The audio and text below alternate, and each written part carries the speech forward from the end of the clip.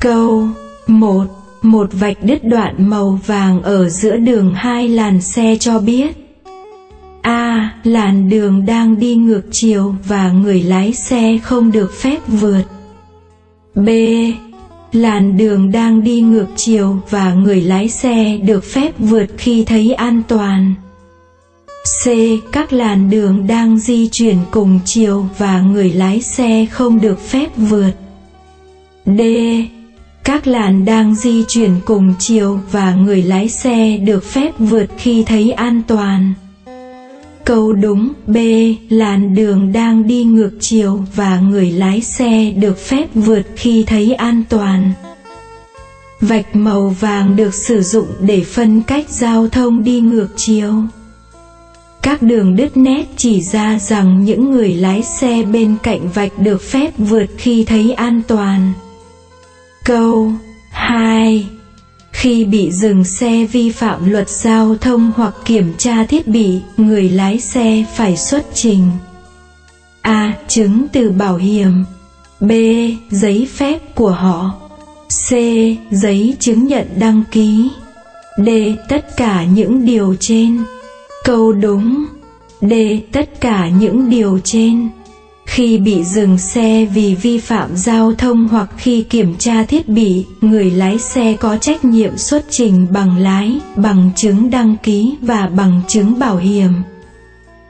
Người lái xe bắt buộc phải có cả ba loại giấy tờ này trong xe khi đang lái. Câu 3. dấu hiệu hình thoi là a. Biển báo nguy hiểm trên đường. B. Biển báo tuyến đường liên bang C. Biển báo băng qua trường D.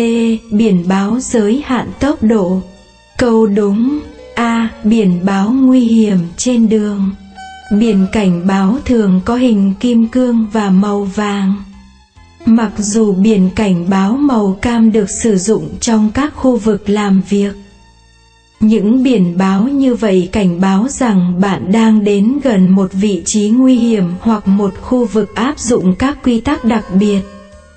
Câu 4. Khi hai xe cùng lúc đến giao lộ, xe nào được quyền ưu tiên khi không có biển báo hiệu quy định? A. Xe đang đến từ bên phải được quyền ưu tiên. B. Xe đang đến từ bên trái được quyền ưu tiên. C. Xe mà người lái bóp còi trước được quyền ưu tiên. D. Xe đang đi nhanh nhất có quyền ưu tiên. Câu đúng A. Xe đang đến từ bên phải được quyền ưu tiên. Tại nơi giao nhau của hai đường giống nhau mà không có thiết bị điều khiển giao thông, người điều khiển phương tiện phải nhường đường cho xe đi từ bên phải. Câu 5. Nếu bạn nhìn thấy biển báo này phía trên làn đường của mình, bạn A. Có thể không thoát ra khỏi xa lộ B. Có thể tiếp tục đi qua nút giao hoặc ra khỏi đường cao tốc từ làn đường hiện tại của bạn C. Có thể ở trong làn đường của bạn và tiếp tục qua nút giao D. Phải ra khỏi đường cao tốc nếu bạn ở trong làn đường hiện tại của mình. Câu đúng D.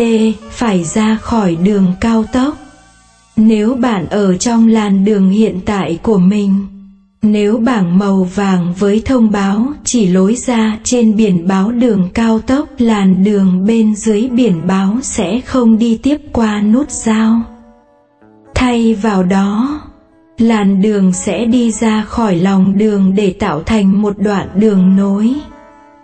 Nếu bạn đang ở trên làn đường ngay dưới biển báo chỉ lối ra, bạn có thể chuyển làn để di chuyển qua nút giao hoặc bạn phải ra khỏi đường cao tốc.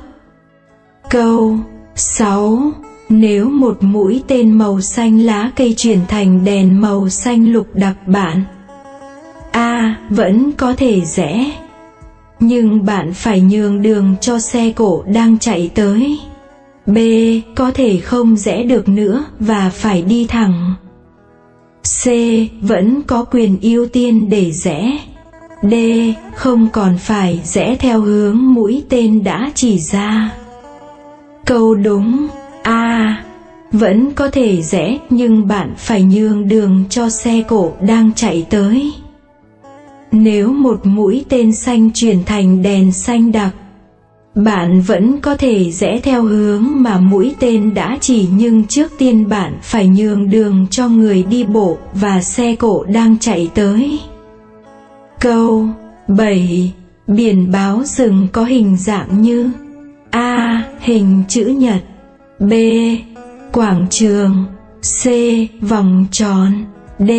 Hình bát giác Câu đúng D.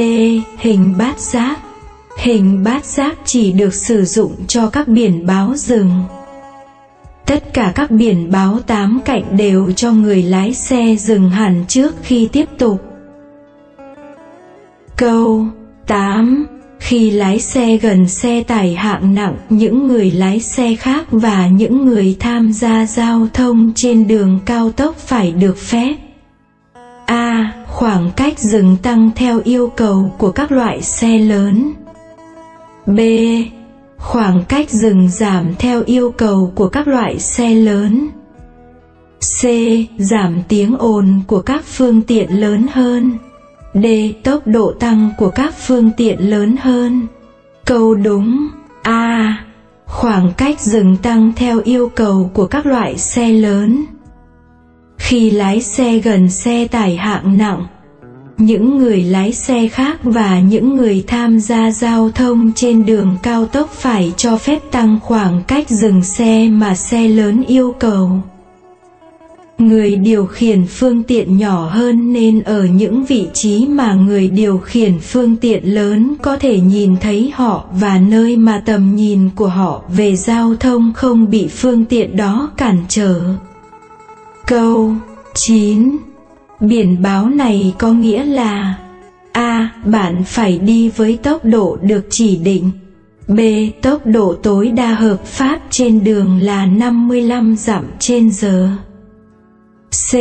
Bạn phải đi qua giao lộ với tốc độ quy định D. Không có điều nào ở trên Câu đúng B. Tốc độ tối đa hợp pháp trên đường là 55 dặm trên giờ đây là biển báo hạn chế tốc độ. Nó cho biết tốc độ hợp pháp tối đa mà bạn có thể lái xe trên đường nơi nó được dán. Vào những thời điểm mưa, tuyết, băng hoặc các điều kiện không lý tưởng khác, bạn có thể phải lái xe chậm hơn giới hạn đã cho.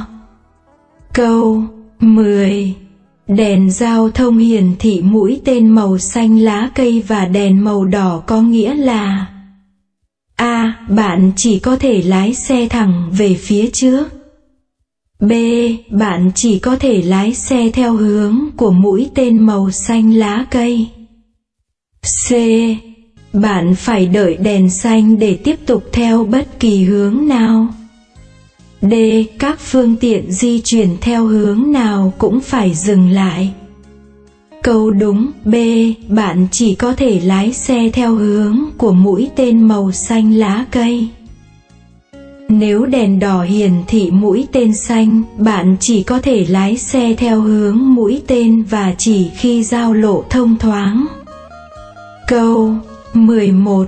Tại một biển báo băng qua trường, bạn nên A. Luôn dừng lại. Cho dù có biển báo dừng hay không. B. Quan sát trẻ em và sẵn sàng dừng lại. C. Luôn bóp còi khi bạn nhìn thấy trẻ em. D. Sẵn sàng giúp đỡ trẻ em qua đường. Câu đúng, B. Quan sát trẻ em và sẵn sàng dừng lại. Bạn phải luôn nhường đường cho người đi bộ đang ở hoặc sắp đi vào lối dành cho người đi bộ qua đường cảnh giác với người đi bộ khi lái xe qua giao lộ hoặc rẽ.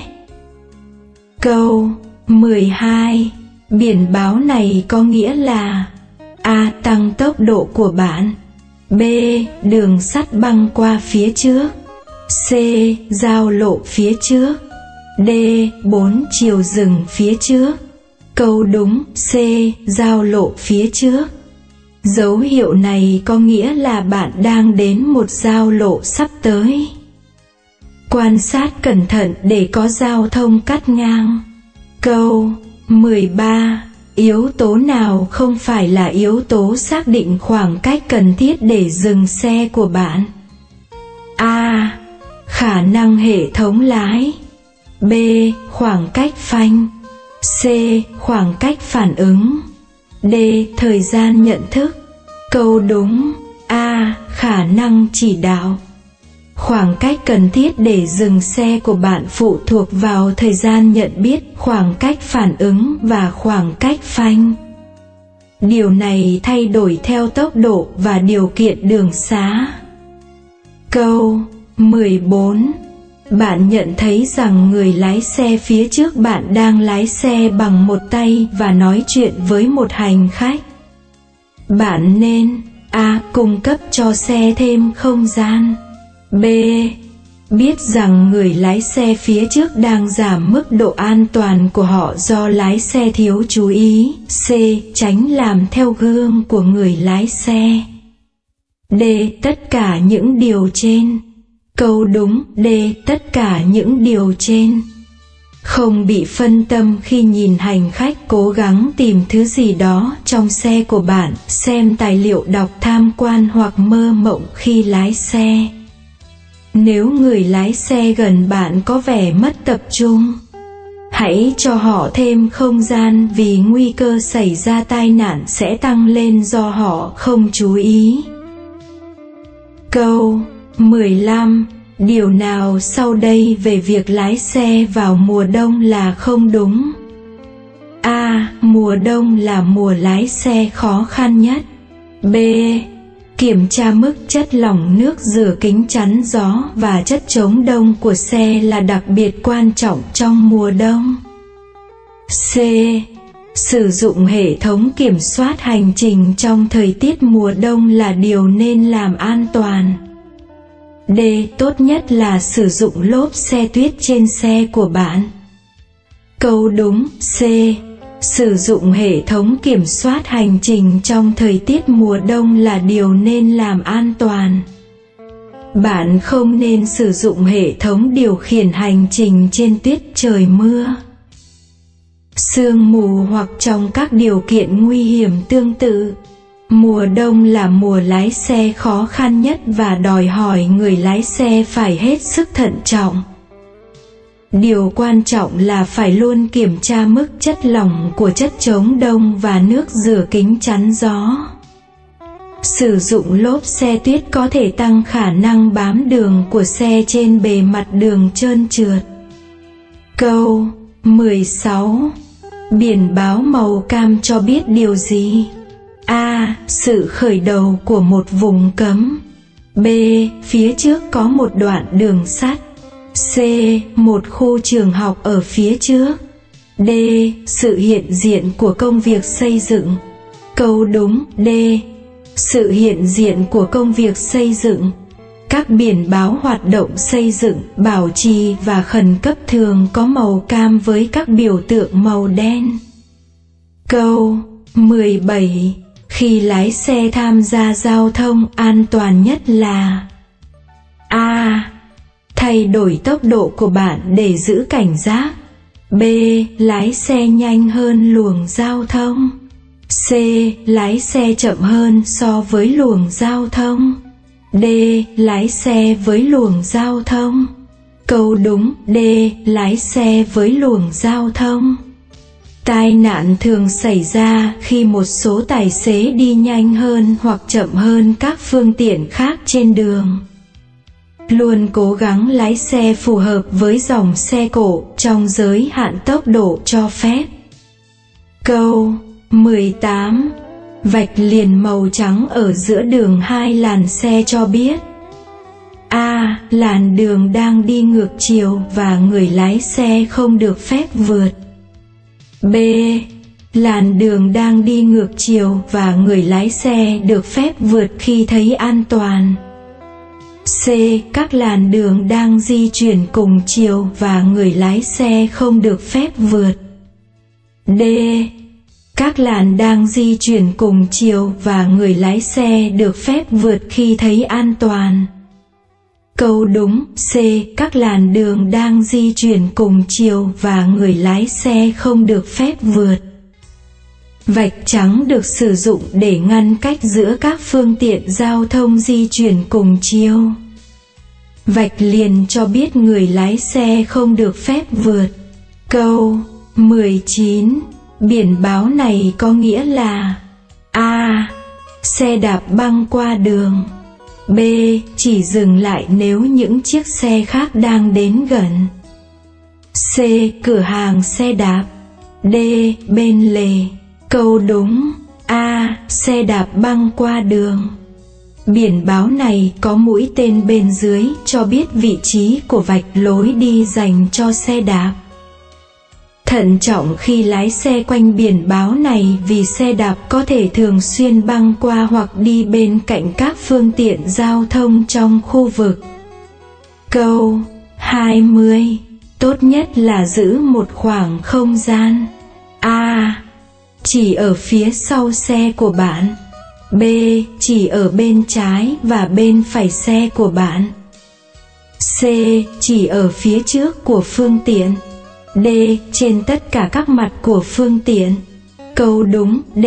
Trên tất cả các mặt của phương tiện để đảm bảo rằng bạn có thời gian để phản ứng với các mối nguy hiểm trên đường, tốt nhất là bạn nên giữ một khoảng trống ở tất cả các bên của xe không chen lấn các phương tiện sang bên trái và bên phải của bạn câu 21 Điều gì xảy ra nếu bạn uống rượu trong khi dùng thuốc theo toa hoặc thuốc không kê đơn?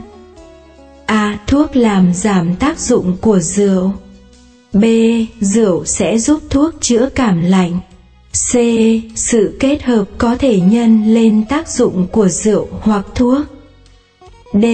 Không có tác dụng vì chúng là các chất khác nhau. Câu đúng C sự kết hợp có thể nhân lên tác dụng của rượu hoặc thuốc. Uống rượu và các loại thuốc khác cùng nhau có thể làm tăng tác dụng suy giảm của cả hai.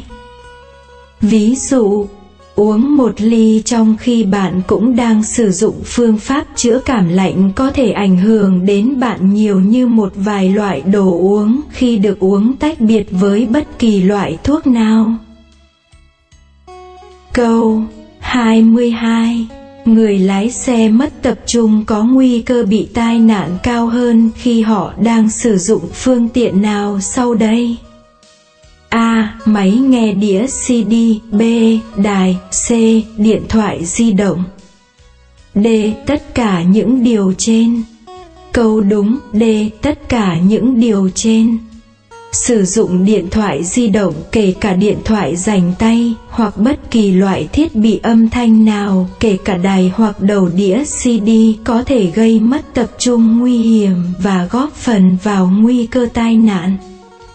Câu 23 Biển báo này có nghĩa là A. Không rẽ phải B. Đường cong C. Rẽ phải hoặc trái D. Lưu lượng chỉ lưu thông theo hướng của mũi tên Câu đúng, D. Lưu lượng chỉ lưu thông theo hướng của mũi tên Biển báo một chiều này cho biết rằng giao thông chỉ lưu thông theo hướng của mũi tên. Câu 24 Có thể giảm nguy cơ trơn trượt nước bằng cách lái xe A. Qua vùng nước nông B. Nhanh hơn nữa C. Chậm hơn D. Qua vùng nước sâu Câu đúng, C. Chậm hơn Vì lái xe quá nhanh trong điều kiện ẩm ướt có thể giảm rủi ro xảy ra bằng cách lái xe chậm hơn. Câu 25 Trước khi vượt xe khác bạn nên ra hiệu A. Ngay trước khi chuyển làn B. Bất cứ lúc nào C. Sau khi chuyển làn D. Đủ sớm để người khác biết kế hoạch của bạn Câu đúng D. Đủ sớm để người khác biết kế hoạch của bạn Trước khi vượt, bạn nên báo hiệu đủ sớm để những người lái xe khác biết trước kế hoạch của bạn. Câu 26 Dấu hiệu nhận biết người lái xe say rượu là A. Họ đang len lỏi giữa các làn đường B.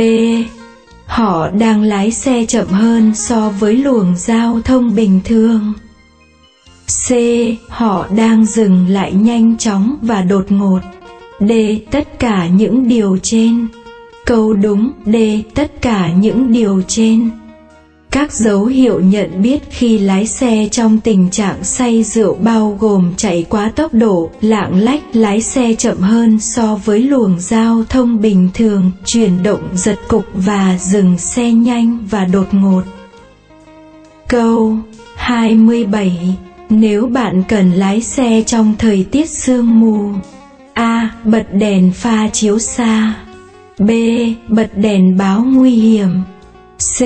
Bạn có thể lái xe ở tốc độ tối đa cho phép. D. Không lái tốc độ trên 10 mai trên giờ. Câu đúng A. Bật đèn pha chiếu xa. Bạn bắt buộc phải sử dụng đèn pha vào ban ngày khi tầm nhìn bị giảm xuống còn 500 feet hoặc thấp hơn. Khi bạn bật đèn pha lần đầu tiên, hãy chắc chắn rằng chúng đã được điều chỉnh về cài đặt chùm sáng thấp sử dụng đèn chùm cao trong sương mù hoặc mưa sẽ khiến ánh sáng phản xạ ngược vào mắt bạn, làm giảm tầm nhìn nhiều hơn. Câu 28 khi đỗ xe xuống dốc trên đường hai chiều, a, xoay bánh xe của bạn sang bên phải. B. Xoay bánh xe của bạn sang trái C. Giữ bánh xe của bạn hướng thẳng về phía trước D. Để đường truyền của bạn ở trạng thái trung lập Câu đúng A. Xoay bánh xe của bạn sang bên phải khi bạn đỗ xe trên một con dốc hướng xuống, hãy quay mạnh bánh xe về phía lề đường. Bằng cách này, nếu xe của bạn bắt đầu xuống dốc, nó sẽ lăn khỏi dòng xe cộ. Câu 29 Màu sắc phổ biến nhất của các biển cảnh báo là A. Màu đỏ, B. Màu vàng, C. Màu xanh lá, D. Màu xanh da trời Câu đúng, B. Màu vàng Hầu hết các biển cảnh báo có hình kim cương và màu vàng với các mảng màu đen. Những biển báo này cảnh báo người lái xe về những điều kiện bất ngờ có thể không rõ ràng. Câu 30 Nếu người lái xe nhìn thấy một con vật trên đường, A. Không có hành động đặc biệt nào được yêu cầu B. Người lái xe nên bấm còi của họ. C. Người lái xe nên vượt qua con vật càng gần càng tốt. D. Người lái xe nên rất thận trọng. Câu đúng, D. Người lái xe nên rất thận trọng. Hãy hết sức thận trọng bất cứ khi nào bạn gặp động vật trên đường truyền con vật từ từ để tránh làm nó giật mình hoặc sợ hãi. Câu 31 Bạn đang lái xe trên đường cao tốc nhiều làn có giải phân cách và nhìn thấy hoặc nghe thấy tín hiệu của xe cấp cứu đang đến gần. Bạn nên, A. Bỏ qua tín hiệu nếu có làn đường khác dành cho xe cấp cứu. B. Dừng lại càng nhanh càng tốt. C. Giảm tốc độ di chuyển xe của bạn để tạo đường thông thoáng cho xe cấp cứu và dừng lại. D. Tăng tốc độ của bạn để thoát ra khỏi đường của xe cấp cứu. Câu đúng C.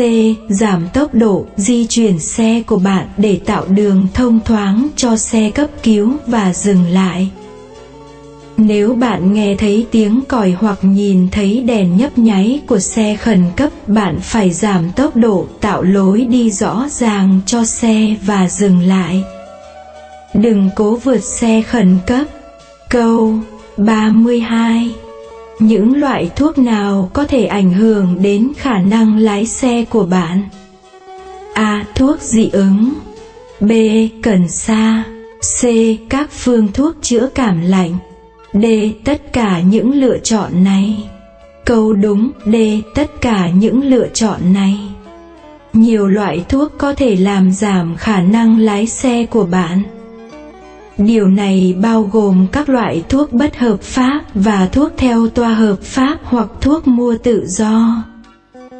Có thể là một hành vi phạm tội nếu lái xe khi đang bị suy nhược bởi bất kỳ loại thuốc nào. Câu 33 Để tránh ở trong điểm mù của tài xế xe tải hoặc xe buýt, bạn nên A. Đừng bao giờ vượt qua chúng B tránh lái xe dọc theo họ và tránh đi sau. C. Chớp đèn của bạn vào chúng. D. Âm thanh còi của bạn. Câu đúng B. Tránh lái xe dọc theo họ và tránh đi sau. Vì một phương tiện lớn, chẳng hạn như xe tải hoặc xe buýt có các điểm mù lớn ở hai bên và phía sau nên tránh lái xe bên cạnh phương tiện đó và không bám đuôi xe. Câu 34 khi đến gần đèn đỏ ổn định người lái xe nên a. Lái xe qua giao lộ nếu không có xe cộ qua lại. B. Tiếp tục lái xe vì họ có quyền ưu tiên. C. Chỉ dừng lại nếu có cảnh sát ở gần đó. D. Hãy đến một điểm dừng hoàn toàn. Câu đúng, D. Hãy đến một điểm dừng hoàn toàn. Đèn giao thông màu đỏ ổn định cho biết người lái xe phải dừng hẳn lái xe vượt đèn đỏ là vi phạm luật và cực kỳ nguy hiểm. Người lái xe có thể rẽ phải khi đèn đỏ ổn định nếu không có biển báo cấm rẽ màu đỏ. Câu 35 điều nào sau đây là đúng? A. Người lái xe dưới 18 tuổi không được phép nhắn tin hoặc nói chuyện điện thoại khi lái xe. B. Người lái xe từ 18 tuổi trở lên phải sử dụng phụ kiện rảnh tay khi nói chuyện điện thoại trong khi lái xe. C. Người lái xe từ 18 tuổi trở lên không được phép nhắn tin khi đang lái xe. D. Tất cả những điều trên. Câu đúng D. Tất cả những điều trên. Ở Oregon, Người lái xe dưới 18 tuổi nói chuyện hoặc nhắn tin trên điện thoại di động hoặc thiết bị liên lạc khác trong khi điều khiển phương tiện giao thông là bất hợp pháp. Người lái xe từ 18 tuổi trở lên phải sử dụng thiết bị rảnh tay nếu họ đang sử dụng điện thoại di động hoặc thiết bị liên lạc khác.